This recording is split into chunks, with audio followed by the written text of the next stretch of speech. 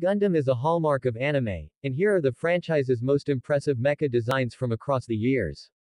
Among the timelines of the Gundam franchise, many standards of giant robot beauty exist.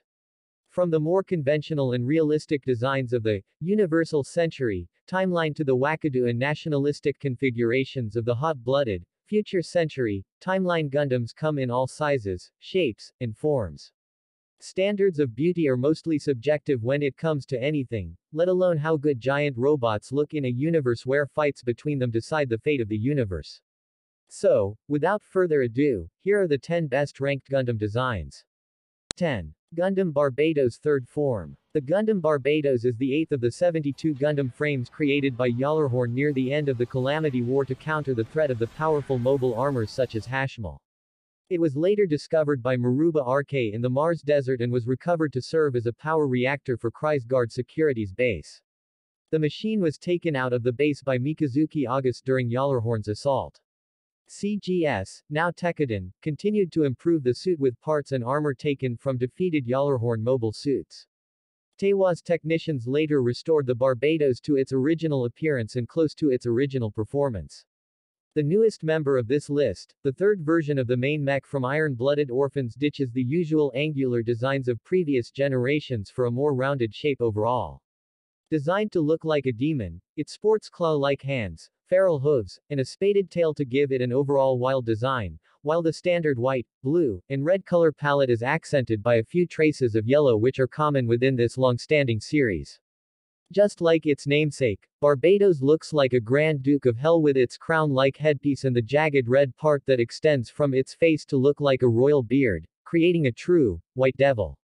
9. RX-78-2, the original Gundam.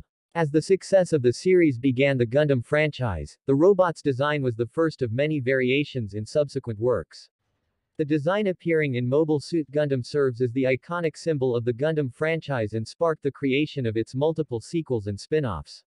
The design's blue, white, red, and yellow color motif has sold many toys since its inception, helping to make Gundam a household name among children and otaku alike. There is not much that can be said about the RX-78-2 that hasn't been said already, other than the fact that even your father might scold you for not being able to recognize this prolific mech. 8. Unicorn Banshee. Don't let the name fool you, this giant robot from Mobile Suit Gundam Unicorn is actually supposed to resemble a lion. Taking a departure from the usual color pattern seen in most Gundams, thanks to receiving damage while fighting in space, Unicorn Banshee is mostly clad in black with only a few spots of gold along its collar to represent a lion's mane and a set of horns that resemble a mohawk in the same color. While already an intimidating beast, the Unicorn Banshee also has its Destroy mode, where it becomes decorated by golden outlines and becomes one of the scariest Gundams throughout the series' history. 7. FA-78 Full Armor Gundam Thunderbolt version. Did someone order defense, because I think someone ordered a whole bunch of it. When designing this mech someone took the phrase, a good offense is a good defense, and wholeheartedly built this mech to refute it. Fitted with enough body armor to make it a walking shield, the FA-78 can wield four separate buffers simultaneously thanks to the two sub-arms in its backpack. A heavily armored and highly maneuverable Gundam-type mobile suit deployed by the Moore Brotherhood.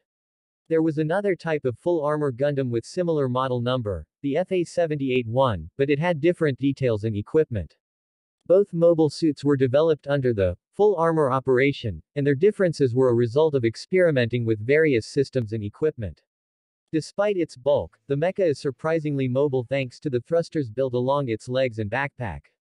All this and we have still to mention the several sets of rockets, beam sabers, and other armaments that this thing holds. There is probably no better Gundam to feel safe and secure on the battlefield.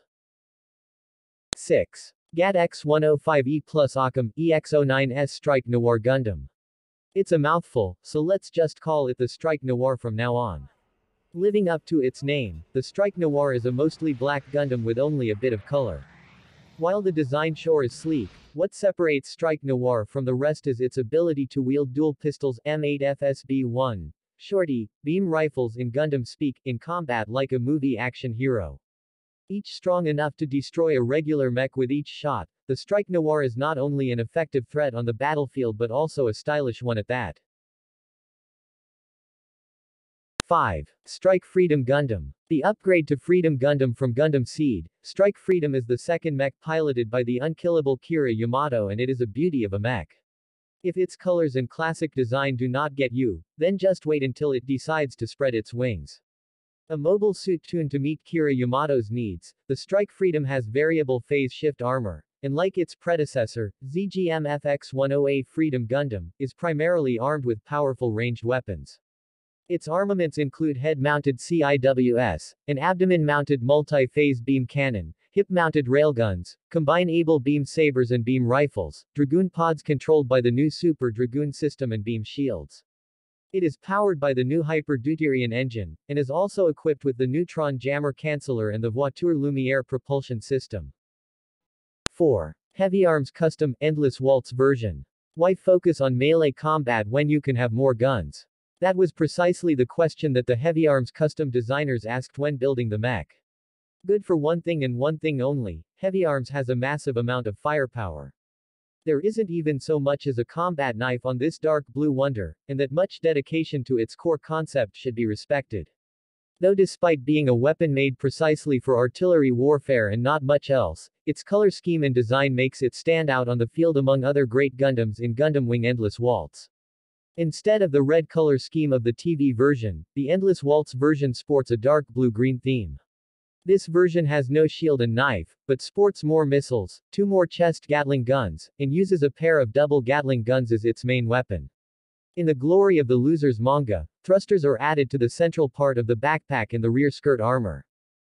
3. God Gundam. Mobile Fighter G Gundam is known for some of the wackiest designs in the franchise. From Gundams that look like cowboys to others that look like windmills, there was no shortage of mechs that forced you to do a double take. Though its unusual sense of design did succeed where it counted, mainly, in the design of its main mech. Piloted by Domon Kasshu, God Gundam, known as Burning Gundam to our Toonami watchers, was the ultimate mech from the series. Modeled after a samurai in full armor, God Gundam shares a familiar color scheme with many other main mechs throughout Gundam and can move like a martial artist thanks to an advanced full body control scheme. Making it a treat to watch during the Gundam Fight Tournament. 2. Wing Gundam Zero Endless Waltz version. The Gundam Wing fanservice isn't quite done yet. To several Toonami watchers, there is no better Gundam series than Gundam Wing and that is for good reason. Along with an incredible storyline, intense action sequences, and the perfect time slot right after school, it also contains several of the best designed mechs in the franchise. The epitome of which would be the Wing Gundam Zero Endless Waltz. Similar in color but not in design, this sports a glorious pair of wings spread wide along the robot, back making it quite the head turner for a kid of the night. The redesigned wing retains largely the same armament and abilities, but resembles Wing Zero in appearance even more than before and can be equipped with extra energy cartridges to enable its Buster rifle to fire a maximum of 9 shots instead of 3. 1. Nu Gundam, Nu Gundam. Here it is, the best looking mech in the franchise. The successor to the original Gundam from the first series, the V Gundam is an improvement in almost every way. Designed by the ace pilot, Amuro Ray, to be versatile while also focusing on endurance for long battles, it also contains powerful fin funnels that can be used for attack or defense. Ray also designed it to be damn good looking. Doing away with all of the yellows from the original design, it now uses red sparingly along the mostly blue and white frame to really pop out that color. Overall, giving it a more unified color palette that makes sure the mech looks just as good as it fights. However, that victory will be short-lived.